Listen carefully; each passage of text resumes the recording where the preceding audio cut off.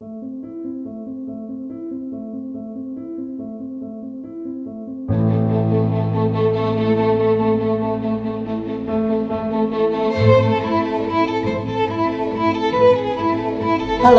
saya Dr. Stefani. Saya seorang dokter spesialis forensik dan saya belajar dari yang mati.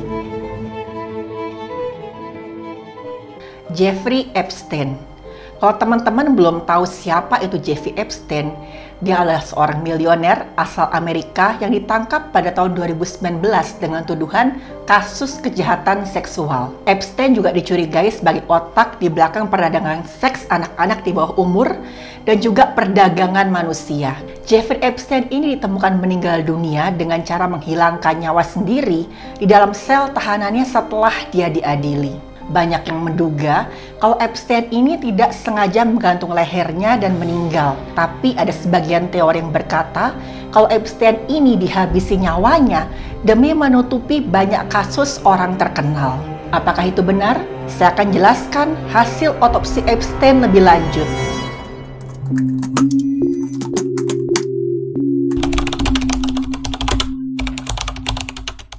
Kalau kita lihat di masa lalunya Epstein, sebenarnya Jeffrey Epstein ini berasal dari keluarga yang bahagia, normal, karena ya keluarganya ini sangat harmonis.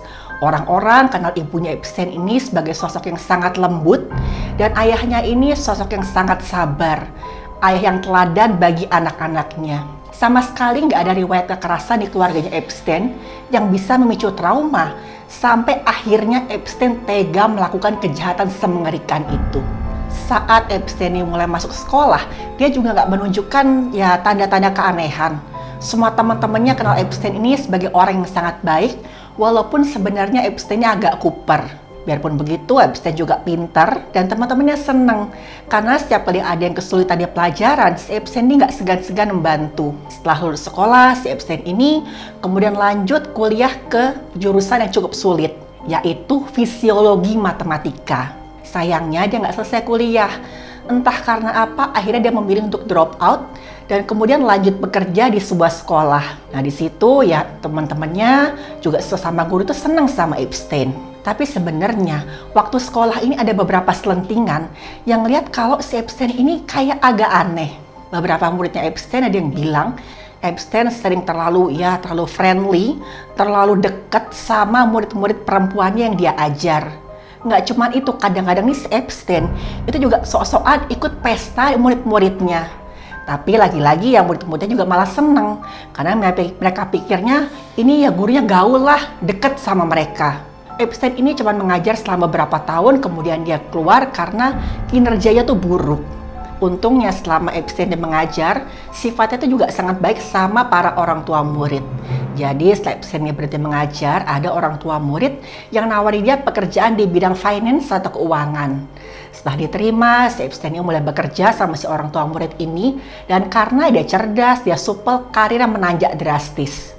Puncaknya pada tahun 1980, Epstein berhasil ya mendirikan satu perusahaan namanya J. Epstein and Company. Perusahaan Epstein ini bukan sembarang perusahaan.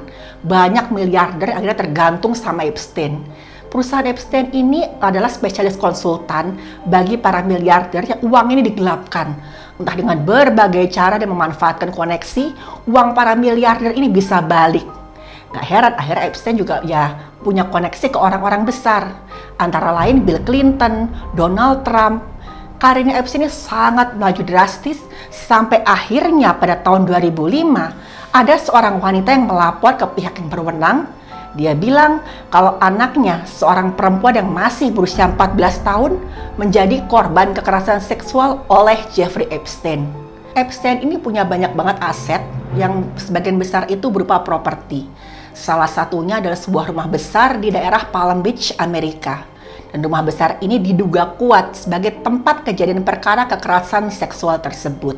Jadi di rumah itu Epstein masang banyak sekali kamera CCTV, katanya untuk syarat asuransi. Misalkan sewaktu-waktu ada kerusakan, dengan gampang Epstein ini bisa menunjukkan bukti kamera ini, kalau nanti kerusakannya bisa diklaim. Tapi ternyata kamera itu dipakai Epstein untuk menjebak perempuan-perempuan di bawah umur yang dia lecehkan di situ. Misalkan mereka nanti mau ngadu, Epstein akan ngancam, kalau kamu berani mengadu, video kamu ini akan tersebar. Bisa dikatakan Epstein ini ya pintar atau licik ya.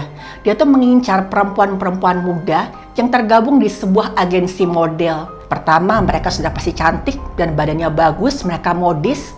Dan kedua, misalkan para model ini sedang sepi job dengan gampang, Epstein menawari pekerjaan. Modusnya tuh selalu sama dia tawari, kamu mau nggak ke rumahku, kamu bekerja sebagai terapis. Walaupun kamu nggak punya pengalaman, nggak punya pelatihan sebagai seorang terapis, nggak apa-apa. Aku cuman pengen ya kamu mijat-mijat ringan aja. Dan saat ya perempuan-perempuan ini terjebak sama tawaran Epstein, apalagi Epstein ini nggak jarang loh nawarin gaji yang luar biasa besarnya. Dan begitu mereka bisa dia pancing dalam rumah di Palm Beach itu dan pintu tertutup di situlah Epstein melancarkan aksinya. Waktu Epstein yang melancarkan aksi kekerasan seksual sama korban-korbannya, para korban ini bilang, si Epstein ini pinter banget loh memanipulasi pikiran mereka. Setelah kejadian itu ya terjadi sama mereka, mereka tuh sampai bertanya-tanya, aku tuh beneran dilecehkan gak sih? Tadi waktu aku sama si Epstein itu perasaan suka sama suka, tapi kenapa aku sekarang rasanya tuh kayak jijik banget sama badan gue sendiri. Dan itulah yang kemudian terjadi sama puluhan bahkan mungkin ratusan perempuan yang berhasil dimanipulasi oleh seorang Jeffrey Epstein. Ada salah seorang korbannya, seorang perempuan 19 tahun selalu bilang, setelah kejadian itu saya benar-benar nggak berani bicara sama siapa pun karena saya nggak yakin benar nggak sih saya dilecehkan dan kesaksian para perempuan ini akhirnya dimuat di satu dokumenter bernama Surviving Jeffrey Epstein. Pada tahun 2005, ada seorang ibu yang melaporkan kalau anaknya yang masih di bawah umur itu dilecehkan oleh Epstein. Kemudian dilakukan penyelidikan karena ini adalah kasus yang ya bukan kasus seperti biasa. Ini korbannya sudah di bawah umur. Tapi waktu pihak yang berwenang ini datang ke rumah Epstein di Palm Beach, ada yang lihat kalau mereka ini seakan-akan ogah-ogahan waktu mengumpulkan barang bukti. Dan akhirnya si pelapor ini sampai minta bantuan dari FBI. Karena itu tadi, nggak cuma pihak berwenang, tapi juga oknum pihak peradilan itu seakan setengah-setengah dalam menangani kasus ini. Pada tahun 2008, akhir Epstein ini berhasil didakwa dengan kasus kekerasan seksual terhadap anak di bawah umur. Tapi lagi-lagi waktu dia di penjara, penjaranya itu ya bukan sembarang penjara. Penjaranya itu semewah villa dia cuma sendiri di ruangan itu, sangat mewah, bahkan ada TV-nya. Dan setiap hari itu Epstein bisa bebas ketemu sama pengacaranya. Sama sekali juga nggak ada batasan bagi orang-orang yang berkunjung ketemu sama Epstein. Dan setelah tiga bulan, baru tiga bulan Epstein menjalani hukuman tahanan ini, dia boleh bebas selama 12 jam per hari. Nah, akhirnya setelah 13 bulan, Epstein diperbolehkan bebas bersyarat. Lagi-lagi, uang dan koneksinya Epstein lah yang membantu dia dalam meringankan hukuman. Tapi pada tahun 2019, tiba-tiba saja Epstein dapat dakwaan baru dan sekali ini gak main-main, yaitu perdagangan manusia perempuan-perempuan di bawah umur. Dan sekali ini buktinya itu ada banyak sekali. Karena waktu pihak yang berwenang bersama dengan FBI menggeledah rumahnya Epstein, mereka menemukan banyak sekali foto, CD berisi video yang membuat Epstein tidak bisa mengelak lagi. Dan ketahuan kalau korban Epstein kali ini mencapai jumlah puluhan. Lagi-lagi, Epstein mencoba menawarkan uang jaminan yang jumlahnya nggak main-main yaitu 100 juta dolar yang kalau dikurskan pada saat itu sekitar 1,3 triliun. Bener-bener ya, fantastis banget. Tapi untungnya saat itu pihak yang berwenang pun nolak dan Epstein tetap di penjara. Tapi baru satu bulan Epstein ditahan, Epstein ditemukan tewas tergantung di selnya.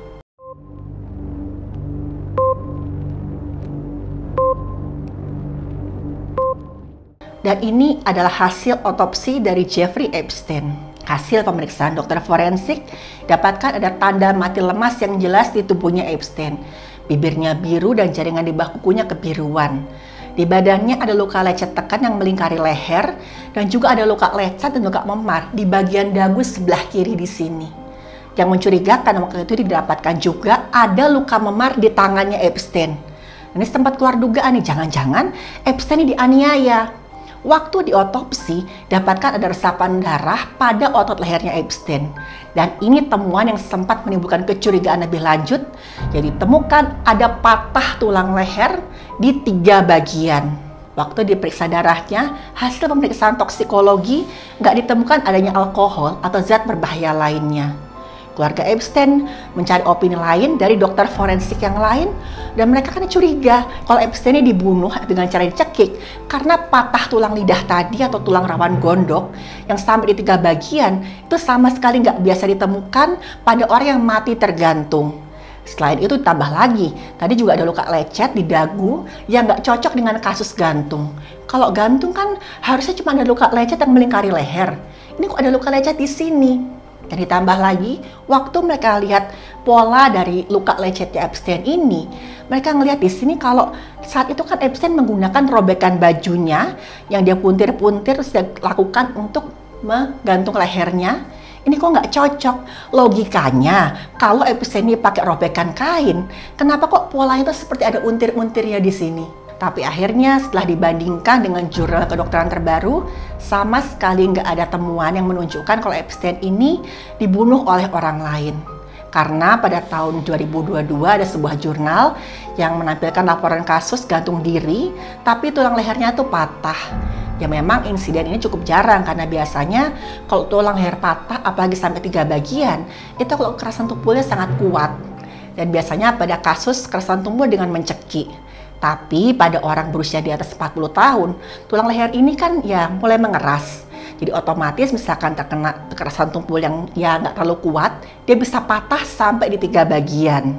Ada juga penelitian terhadap 20 jurnal, jadi mana orang mati tergantung, akhirnya dipastikan kalau patah tulang gondok dan lidah pada korban gantung itu ya belum bisa dipastikan ada atau tidaknya hubungan dengan cara kematian, entah itu dijerat atau dicekik. Selain itu, waktu dilihat luka lecet dan memar yang di dagunya Epstein ini, itu bisa terjadi. Misalkan waktu Epstein ini mulai kesakitan, refleks itu dia akan mencoba melepaskan simpulnya. Dan ini hampir selalu terjadi pada semua korban yang menggantung dirinya sendiri. Selain itu, pola luka lecet di leher Epstein ini menunjukkan struktur dari penjeratnya. Memang, Epstein tadi menggunakan robekan bajunya dan permukaannya halus dan biasanya memang nggak terlihat tapi waktu dilihat di TKP, itu yang namanya kain itu sudah diuntir-untir sama si Epstein dan akhirnya ya wajar aja kalau pulang lukanya itu ada bekas untiran-untiran yang mengelilingi lehernya sini. Dan selain itu, itu punya Epstein juga tidak ditemukan tanda-tanda pembelaan diri. Tangannya nggak ada luka dan juga ya luka memar di tangannya tadi itu juga terjadi waktu Epstein mulai kejang-kejang, tangan ini ngebentur di tembok di belakangnya. Itulah hasil otopsi dan analisis medis dari hasil otopsinya Jeffrey Epstein.